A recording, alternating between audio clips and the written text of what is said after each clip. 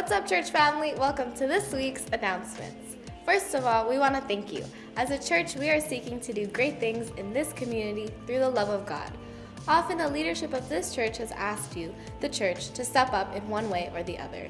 We are a church that serves. We are thankful for the way you, time and time again, step up and make the ministries we are seeking to run a success.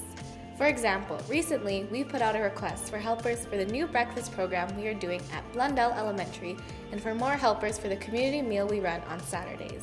We, the church, stepped up and many of you volunteered.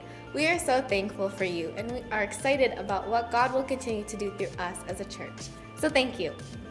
This week, for our Sunday evening service, Farus, our young adult ministry group, will be running the service. It will be a special service, and instead of a sermon, we will be looking at the theme of mental health. Everyone from every age group is invited. As a church and a charitable organization, we are responsible to the laws of Canada. The government has brought in some new policies that have made it necessary for organizations such as us to revamp our constitution. These changes don't in any way affect our beliefs or practices as a people of God. But what this means is that the board has been hard at work using this opportunity to give our church's constitution a needed revision. There are copies of the draft constitution available at the welcome table in the foyer. If you consider yourself a part of this church, please grab a copy after the service and have a look through it.